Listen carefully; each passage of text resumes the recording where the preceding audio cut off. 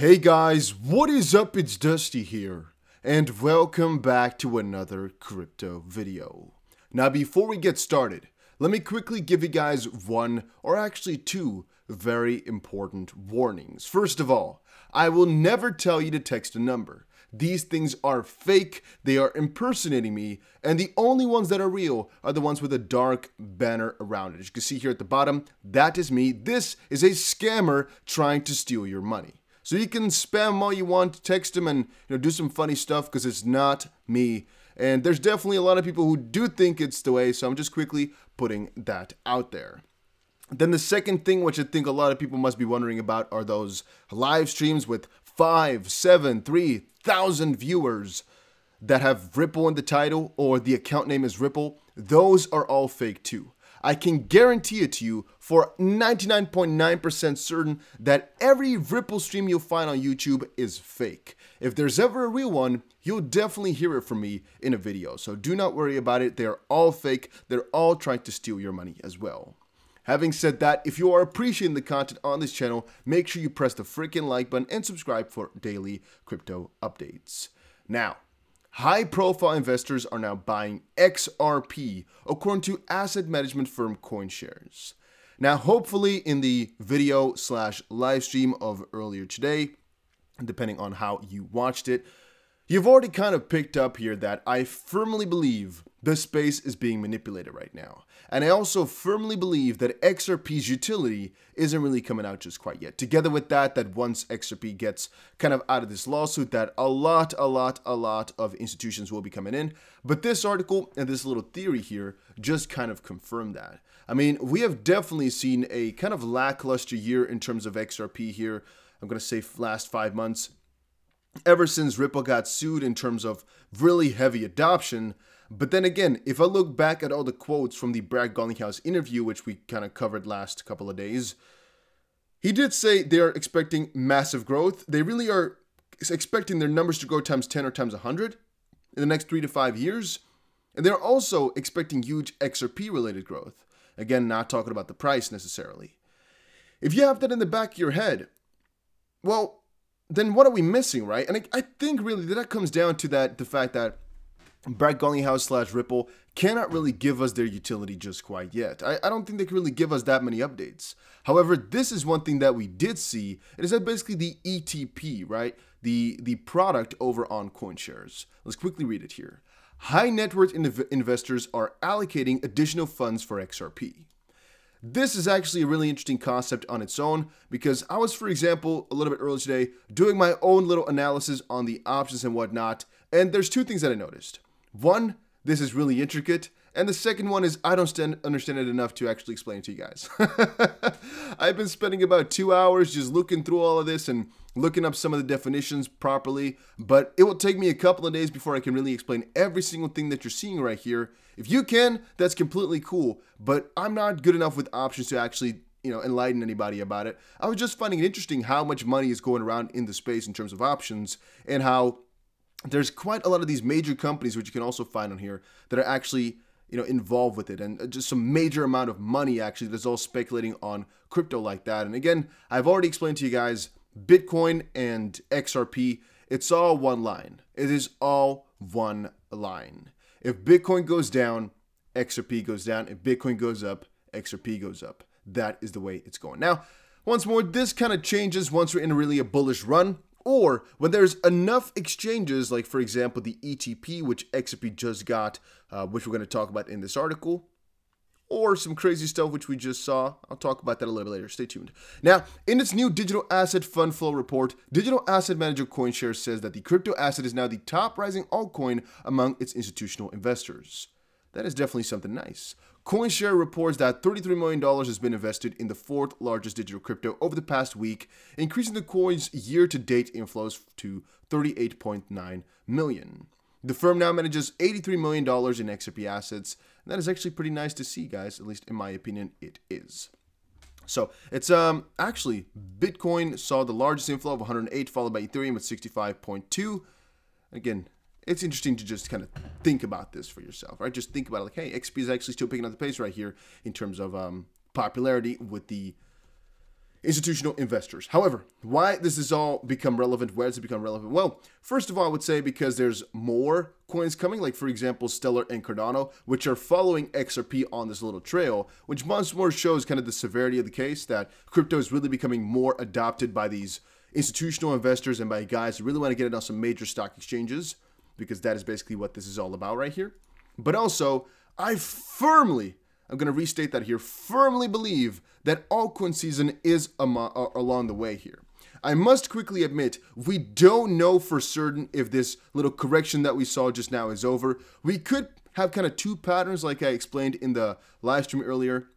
We could basically be at the lowest right now. We hit the lowest point. We're going to come up from here. Or we can actually dip significantly lower. And this is basically just kind of a, a first of many tests.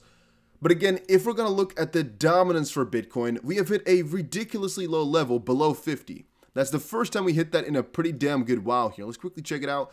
The last time we hit that was, let's see here, below 50. Below 50. Throughout 2018 here somewhere, guys. Yeah, freaking August of 2018, around that time, is the last time we hit the same type of dominance for Bitcoin. But the first time, I guess, in a very long time was also at the start of 2017 when the big bull run, of course, was, was really there, as you guys most likely know. And a lot of people are expecting that the kind of same momentum is going to move on. And again, we have a lot to go down for altcoin season to kind of spark up because you guys know this is going to most likely happen significantly later. But then there's also another thing. David Schwartz, for example, put up here the prices are too damn low. And this one, I think, just really in a funny way ties into the fact that Bitcoin uh, made a first dip at about, four, again, my time, Dutch time, Amsterdam time, 4 a.m. GMT plus 2, or UTC plus 2. 4 a.m., Bitcoin made a little bit of a dip. Most altcoins like XRP, Feature, and whatnot dipped right there too. They followed Bitcoin. Interestingly enough, though, the biggest dip for XRP, uh, for Bitcoin was at 9 a.m. And all these altcoins actually started picking up the pace after 4 a.m. So at 5 a.m., all these altcoins were already going up. That does make you think about something. And for me, it really makes me mostly think about the fact that, yeah, you know, Bitcoin is now being sold off for altcoins. Even now that the price is going down, the Bitcoin price, which you all can agree on, is manipulated. There's just, you might say it's a lot of market action. Well, a lot of it is manipulated. I really firmly believe in that. I really firmly, firmly believe in that. But that is interesting then, right? That a lot of money then at around that time flew into altcoins, basically outflowing to, to feed them. Let's quickly come back to a trading view chart here. I'll quickly try to show you guys what exactly I'm talking about here on a Bitcoin chart so you guys can see it. It's just really fascinating to me how that is moving along. So right here you can see XRP made a dip at around 4 a.m., right? Bitcoin here made a first dip around 4 a.m. and then afterwards it decided to fall back down lower for the next couple of hours until it made its final dip at about between 9 and 10 a.m. once more my time.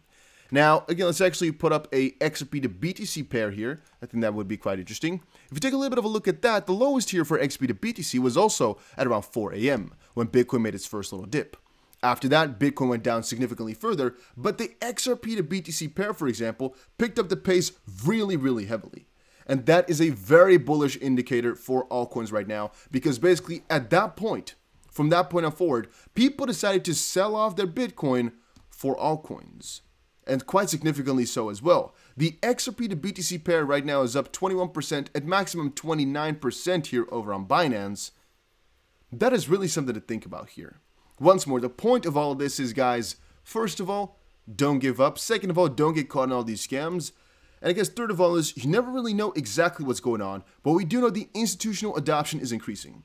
Not only for XRP, for a lot of altcoins right now. Once more, Stellar and Cardano are also right now coming to these major um, stock exchanges. Switzerland-based investment products provider 21 Shares is launching exchange-traded products, ETPs, for native crypto of Stellar and Cardano. It is all coming together. It is all coming together. It is all freaking coming together. Then uh, something else, I guess. Binance Smart Chain dusts Ethereum's daily transactions by 600%.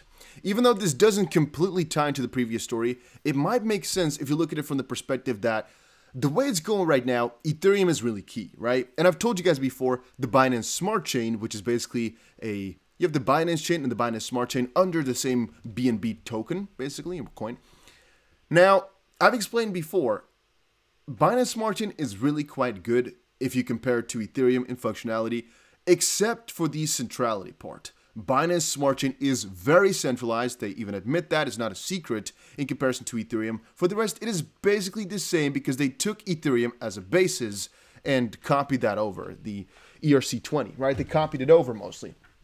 Now, what does that mean? Well, that also means, guys, I really firmly believe here that there's still a lot of innovation to come here in the near future. And, well, Binance Smart Chain is taking over here.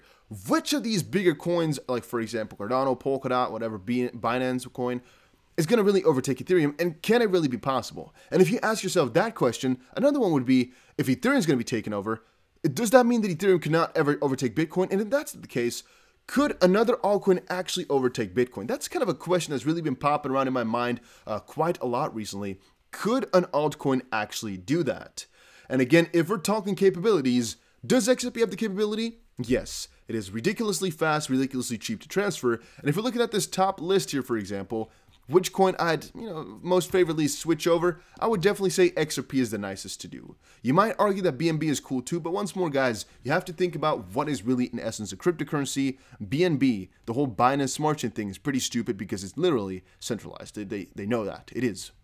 So from that perspective, I'm going to disregard BNB and Tether as real cryptos because they're kind of stupid. From this list here, XRP is definitely the best one. Even BNB, if you're going to compare it, then XRP is still cheaper and still faster to go for. So if you have that in the back of your head, well, is it impossible for XP to get there? Obviously. Is it possible for Ethereum to get there? Obviously. Is it possible for a more centralized system like BNB to get there? I'm going to say no, because people will never put enough trust where it can get there.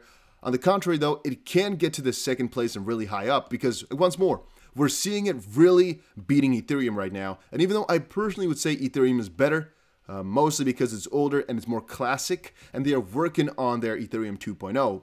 Right now, Binance, um, Binance Smart Chain, or basically BNB here, is severely outperforming and does do it better than Ethereum is. Would I bet more on BNB than on Ethereum? Definitely not. Definitely not. But is it really a fundamentally good coin right now? In terms of projects, yes. In terms of the Pancake Swap ordeal, definitely, definitely so. And that again kind of answers the question on its own. All these coins could become number one. BNB could definitely, for example, beat Ethereum. Will it though? That's a completely different question. And in the end, does it really matter? Well, no, we're seeing some huge outflows from Bitcoin into some other alts, but then again, it's not like they're really doing good, huh? It's not like they're really doing good on the USD pair. It's just versus Bitcoin they were doing quite well. And in the end, I just think this might be the start of some bigger movement. Martin Falk also shared this little post with me right here of Flare. We know of a particularly exciting NFT project coming to Flare May 8th, which I really thought about as well. Like, would I go for NFTs if they were an XRP ledger, for example? I might, right? The only reason I decided to not go for any cool Dusty BC NFTs was because I thought, you know what? If we're going to do it on Ethereum, it's going to be freaking $60, $70 to buy one, and the price wouldn't be high because I would do it for fun, right? So it'd be, let's say that the price of the thing was would be $10, $20, whatever. You'd have to pay $60 to actually purchase that. It'd be kind of dumb. And to open the store is also costly for what I was going to give away, for example, what I was going to sell. So I was like, yeah, no. If it were to be on XRP, for example, though, or something like that, that would be pretty damn cool. I'm not exactly sure what type of project they have. I haven't really read into it, but it's interesting to kind of think about. And then this article here was, uh, why is the crypto market down? The answer will shock you. The answer definitely did not shock us because we've talked about this for a little while. I don't know why they made a title like that. That's that's pretty dumb. The answer will not shock anybody because this is like the most talked about subject right now for the last couple of hours already for last day. However, yes, I still believe it is the Biden tax plan. But then again, some theories I've been seeing out there are that this was known all along. That this whole tax plan was coming along was known. They insider traded it and basically decided to dump the price up front so we can have a bigger dump right now. Some say for the big friends to buy in. Some say it's just to cause panic in these markets. Some say it's to ruin these markets.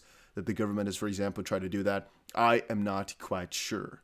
What I do know though is that this bill will, will it likely be passed? Well, if I read it from what you guys are saying, then no. But then again, some others have said, well, he really has a lot of friends, and if he does this, he does it to get it through. So, in the end, guys, I cannot put my own verdict here because I just do not know. I just think a real big rule like this is kind of inevitable. The rule specifically for 40% ish capital gains tax is definitely inevitable. However, some heavy regulations, which are a short term kind of hurdle, are inevitable. And like I've explained in one of the earlier videos with the Charles Hoskinson example, he basically said, we're gonna get some regulations. We're gonna get some which are definitely not nice. We'll lobby to get them fixed or we'll lobby to get them better. And I do think that that's definitely gonna be the case. However, we cannot um, assume that they're not gonna come. Will they stop innovation in the United States? Yes. Does the United States, you know, should they thrive for that? Strive to that? No. But will they try it? Most likely. Be prepared for that. That is what people are preparing right now for as well.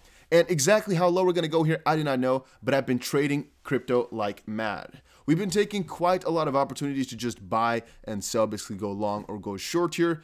I want to do some of that stuff in live streams, but again, I've I keep on considering because you guys ask me on Patreon as well, Dusty, give us your signals, give us your whatever you're doing. But I keep reminding people with Bybit, for example, or with this type of trading, it is so simple to lose money that I don't think it's a very smart thing to do. Because if I make losses, for example, let's say I make three losses in a row, I know, okay, I have a big record here, it's going to be fine, right? I'm not going to sweat it too much, and I have proper risk management. That basically means if I, for example, were to have $1,000, I would most likely do trades with, for example, 1% of my total capital. That means, for example, trading with $10 every single time. But there might be some guys watching who are like, you know what? Dusty says let's do this, so he's going to put in all his money on trade number one. Or maybe he's like, you know what? I'll go 30% on every trade. I know I'll put almost all my money in and make some money here. You see what I'm trying to say here? Where I'm going to have to explain it so properly that it's their own risk. Where I'm too afraid that people will lose their money because you do lose in leverage trading here and there. It's not a proven science and you cannot win every single time. It's impossible. Hopefully you win more of the time or your wins are a lot bigger than your losses and it's an uh, even thing, for example but you will definitely lose every here and there and that should be in your calculations. But that is why i don't share it because i think the majority of the people watching are not disciplined enough to take those things and will lose severely and i just don't want to see that you know? I, I personally don't think that's the right thing to do but then again i might share it over on patreon because i'm hoping those guys are capable enough to you know understand i guess the bigger picture. Seeing a little bit of a trend line here forming on xrp as well huh? Interesting how that is moving along Maybe it's all. Maybe it is all over, guys. It's it's it's really indeterminate right now. I yeah, I said a couple of things in Patreon. I'm still gonna update on that soon though, because buying the dip here was definitely an interesting move. Was it scary? Definitely so. But RSI and everything was kind of looking like it was the dip of the dip. Then again, going so quickly upwards against Bitcoin, it is interesting to me. It is really fascinating to me how this is all moving along. Let's see if I missed anything. I don't believe so. Right? I don't believe so. All right, so I've done my, my story a little here. Once more, a little summary is cryptos are picking themselves back up. We got a rejection on Bitcoin actually on the hourly chart here, back on one of the earlier uh, supports or resistances. Let's quickly check it out. Ooh, okay, so this is one of the resistances, yes, which we faced a couple of times here throughout this. You can see how many times we touched that or we're around that area here, the, the real um, pinkish marker. It's also the dip, I guess we caught back there. And that's basically, oh, we can actually take it a little bit lower than this. Let's actually see where exactly it should be, right around there. You can see we really got rejected over that area again. That's basically the dip which we saw a couple of days ago with the big sell-off, with some huge whales over on Binance and also the huge liquidations on all platforms, where a lot of money was taken out of the uh, the long side. The bulls were basically exhausted back then. We already kind of warned that we could make a lower low right here. However, as I explained in the live stream just now, there's two scenarios, and we're going to see, guys, we might just bounce from here and go even lower. It's, it's not excluded right now. It is not excluded. We might break through here everything is open right now. And I'm not saying, guys, that all this is going to be bullish from here. I really, really cannot say for certain. Let's watch it. Let's be a little bit careful right now with exactly what we do. And I would personally think, man, as long as you're holding, I'm going to keep reminding people of that, as long as you're holding quality coins, it ain't a big deal. It ain't a problem. Holding very, very, very comfortably. I at least am, right? I'm holding very comfortably. Uh, but once more, guys, in the end, I'm a hodler. We'll hold to the bitter end, but I'm also a trader, and I like to kind of take my opportunities whenever I can. So I definitely try to put some positions in here and there uh, to make some extra profit because it's once more freaking coin margin. So I make the coins whenever I win a trade. So if I'm trading with XRP to USD, I make XRP for trading that, and that's what I like because I want more coins. If I'm doing the USD, it just doesn't feel the same. I don't like it as much, but again, that's just a personal type of preference. Having said that, guys, there's also a $1,610 bonus if you deposit and stuff like that using my Bybit link. Uh, check it out down below. And uh, that was it for this update for today. Make sure you press the like button and subscribe. See you guys in another crypto update.